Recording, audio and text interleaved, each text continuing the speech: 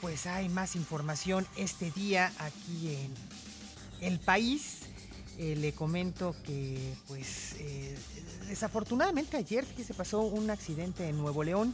Un chofer se quedó dormido y un, un camión, el camión el que manejaba, cayó a un canal. Esto fue en Nuevo León. 18 personas resultaron heridas de acuerdo a los reportes que se dieron desde la Sultana del Norte. Eh, déjeme comentarle que pues algunos de los que viajaban en este autobús resultaron con lesiones graves, ocho para ser precisos. Ellos fueron trasladados al Hospital Universitario de Zona y el Metropolitano.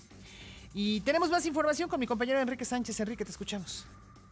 El presidente de la Sociedad Interamericana de Prensa, Michael Greenspan, reconoció el desafío que significa en 2023 garantizar la seguridad de los periodistas en la región, así como crear una mayor cultura de acceso a la información pública. De ahí que como organización se comprometan a sumar esfuerzos por la protección de los comunicadores. En su tradicional mensaje de fin de año, el también director global de licencias e innovación de impresión de The New York Times subrayó la violencia y amenazas que enfrentaron los comunicadores en el año que recién concluye.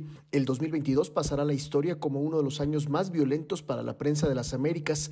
42 periodistas fueron ultimados en 10 países. El flagelo de la violencia y la falta de resolución de los crímenes contra periodistas generan una profunda fisura sobre la actividad periodística y una amenaza a la democracia en nuestra región que debemos combatirla, señaló.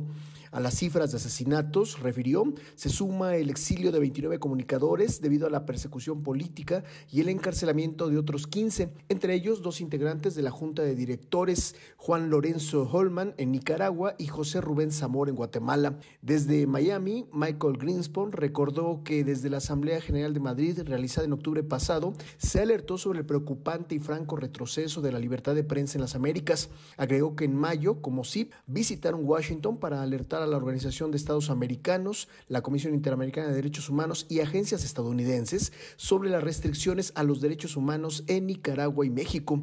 También denunciamos las graves consecuencias para la democracia si continúan desapareciendo medios de comunicación ante la indiferencia de los gobiernos, agencias multilaterales, empresas, plataformas digitales y la sociedad civil, agregó.